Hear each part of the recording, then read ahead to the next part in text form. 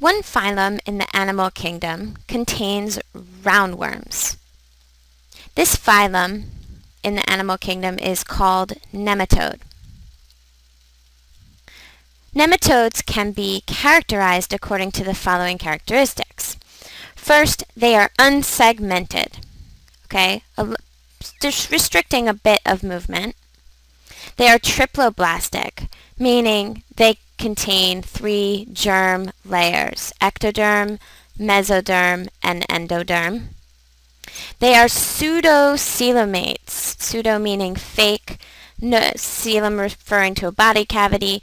So they have a partially lined body cavity forming in early embryonic development that can develop into um, more complex body systems.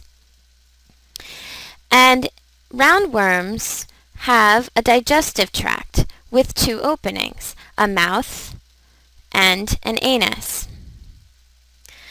It also has no respiratory or circulatory systems, making it close to one of the most primitive uh, sets of worms that happens to also be bilater bilaterally symmetrical. Many roundworms are parasitic, meaning that they require a host to survive and reproduce.